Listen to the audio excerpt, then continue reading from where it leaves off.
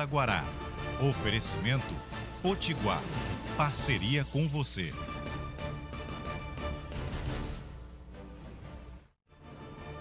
Olá, muito boa noite. Hoje, 25 de novembro, por conta do jogo transmitido pela TV Cultura, não tivemos hoje o programa Os Analistas e temos uma edição mais curta do Jornal da Guará. Veja os destaques. GAECO do Ministério Público põe servidores da cidade de Imperatriz sob investigação de licenças ambientais. GAECO do Ministério Público põe servidores da cidade de Imperatriz sob investigação de licenças ambientais. CPI dos transportes instaurada na Câmara de Vereadores de São Luís. E ainda, 13º salário e seus direitos enquanto trabalhador. Tudo isso e muito mais agora, no Jornal da Guará.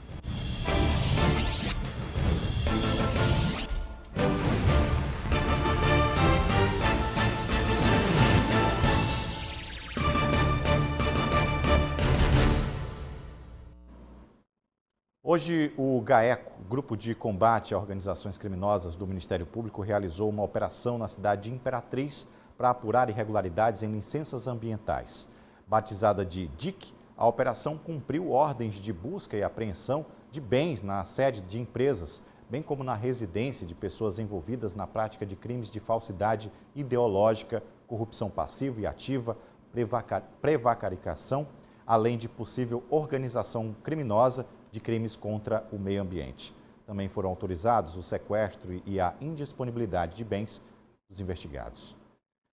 Já que falamos em investigação, seguimos atualizando o nosso telespectador a respeito do sistema de transporte público de São Luís. A CPI na Câmara dos Vereadores foi instaurada. Agora fica a questão de como vai se dar o trabalho de apuração, já que o recesso parlamentar já acontece no próximo mês. João Carvalho tem detalhes. Depois de muita expectativa, foi instalada a CPI do transporte público em São Luís. Ela foi oficialmente informada através do diário oficial do município, autorizada pelo presidente da casa, Osmar Filho. Um dos autores do pedido, o vereador Francis Carvalho, integra a equipe da CPI. Eu estou justamente com ele. Vereador, o senhor fez o primeiro pedido. Os objetivos diretos do seu pedido, qual foi no que diz respeito a toda essa questão envolvendo o transporte público de São Luís? É, para você instalar uma CPI, você tem que ter o prazo determinado e o fato determinado. Qual o prazo que nós estabelecemos? 60 dias. Teria que ter 11 assinaturas, um terço de vereadores. Nós tivemos um terço de assinaturas no nosso requerimento. E o fato determinado é analisar a licitação e analisar o contrato entre as empresas de transporte coletivo e a Prefeitura de São Luís. E nós vamos analisar isso para ver se houve alguma irregularidade.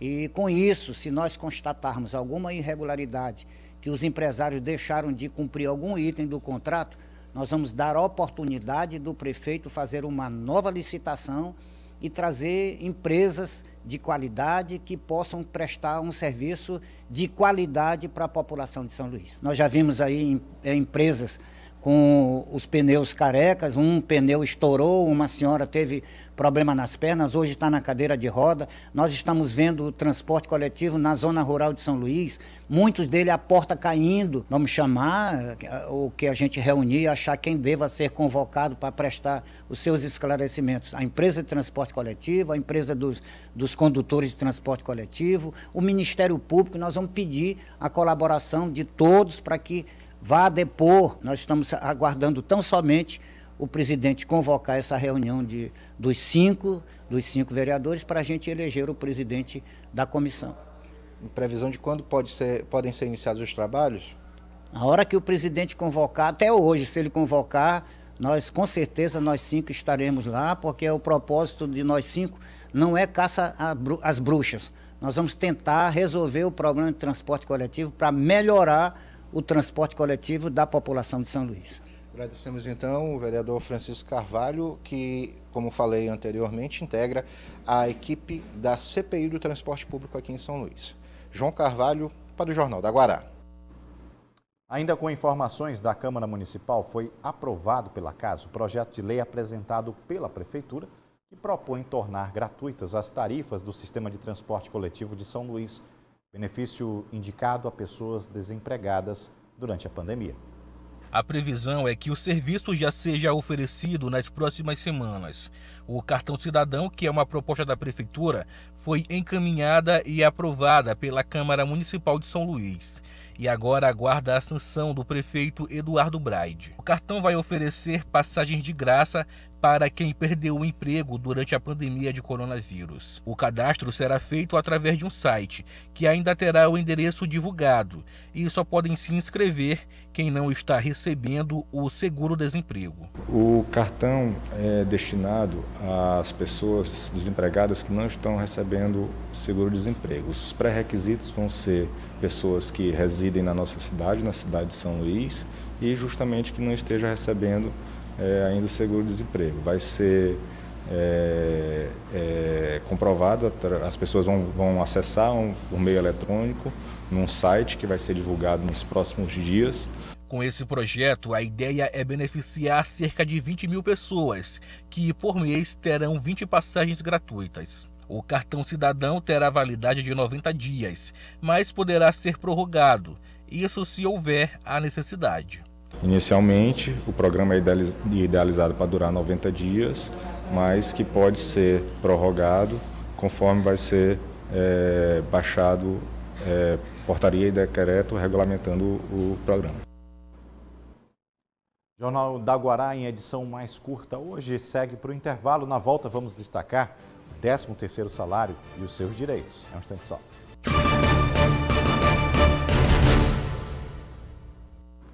Voltamos e com destaque para um assunto bastante aguardado pelo trabalhador, 13º salário.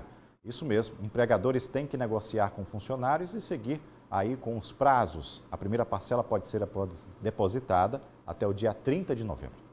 Novembro está acabando e o empregador tem poucos dias para pagar a primeira parcela do 13º salário. O benefício também é chamado de gratificação natalina. A cada mês trabalhado, o o empregado ele tem direito à fração desse salário. Ou seja, se você trabalhou os 12 meses durante um ano, você recebe ao final seu salário, também conhecido como um 13 terceiro salário, que é tão comum, é gratificação natalina também. O décimo também pode ser pago de uma vez. O que não pode é o trabalhador ficar sem receber. É, o legislador deu essa opção do 13 terceiro salário, ele ser pago é, de forma antecipada, ou seja, o empregador ele tem, pela lei, até o dia 20 de dezembro para fazer o pagamento do 13º salário, sendo que alguns empregadores, para não sobrecarregar o volume de pagamento no final do ano, eles podem fazer antecipação. E essa antecipação do 13 terceiro, ela pode ser a primeira parcela, ela pode, pode ser e deve ser paga, se for paga antecipadamente, até o dia 30 de novembro, né? Vale a observação que essa antecipação ela deve ser é, no mínimo até 50% do valor que o empregado teria direito a receber. Não pode ser inferior a isso. A gratificação tem o mesmo valor do salário normal, mas só recebe o valor total quem trabalhou o ano todo. Deve ser um trabalhador devidamente legalizado, com carteira assinada, né? seja ele trabalhador urbano ou rural tá? Desde que esteja ali com a carteira assinada, recebendo o salário certinho, tá bom? E eventualmente aquele trabalhador que não tiver a carteira assinada ou foi demitido sem justa causa, também pode procurar seu advogado e requerer aí as dentro das demandas trabalhistas o direito que lhe assiste, tá? Que é o recebimento do 13 terceiro aquele trabalhador que foi demitido sem justa causa. É, rapidamente agora falando sobre o IPCA, o Índice Nacional de Preços ao Consumidor, considerado uma prévia da inflação oficial. Teve uma alta de 1,17% em novembro. Essa foi a maior variação para o mês de novembro desde 2002, quando o índice registrado foi de 2,08%. No ano, o IPCA 15 acumula alta de 9,57% e em 12 meses de 10,73%. Os produtos que puxaram esta alta foram a gasolina, transporte por aplicativo, vestuário, artigos de residência, habitação, saúde também entrou na lista e além de outros itens, temos a alimentação e a educação. Hoje, São Luís sediou o encontro do Colégio Permanente de Corregedores Gerais dos Tribunais de Justiça do Brasil. O evento aborda temáticas do Judiciário que, ao final, vão compor uma carta deste encontro. Corregedores gerais dos tribunais de justiça de todo o Brasil que vieram até São Luís para discutir o aprimoramento dos serviços judiciais e extrajudiciais. A presença do juiz ela continua sendo importante, né? a, a presença do Estado é fundamental e ela se faz através do juiz, mas hoje amparado nesses recursos da tecnologia. Portanto, é isso que a gente vai ver aqui. De que forma a gente pode, agora, com o retorno presencial das atividades, trazer para a nossa vida prática, para o nosso dia a dia, tudo que a tecnologia trouxe de avanço para a prestação de serviço. Os ministros do Superior Tribunal de Justiça, Maria Tereza de Assis e Reinaldo Soares da Fonseca, participaram do evento, onde foram agraciados com uma condecoração. O principal assunto do encontro é a digitalização, o uso das novas tecnologias no aprimoramento dos trabalhos do Judiciário, onde todas as partes podem dar passos à frente no andamento de um processo. Durante toda esta quinta-feira, os corregedores gerais de justiça dos tribunais de todo o país participaram de plenárias, mesas redondas, exposições, onde questões voltadas às novas tecnologias foram apresentadas e discutidas. Na manhã dessa sexta-feira, eles voltam a participar de atividades parecidas. Já pela tarde, tem uma reunião entre eles, onde ao final será elaborada uma carta sobre o principal tema do encontro. A tecnologia ajuda o judiciário a avançar, a evoluir.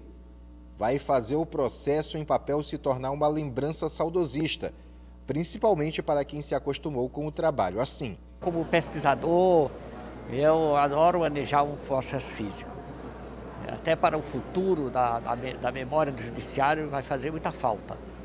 Mas nós temos que nos submetermos à evolução dos tempos e não há outra alternativa senão abraçar esse avanço da tecnologia. Bom, essas foram as nossas informações de hoje, numa edição bem mais rápida, mas amanhã a gente está de volta, 18h45, aqui na tela da TV Guará. Tchau.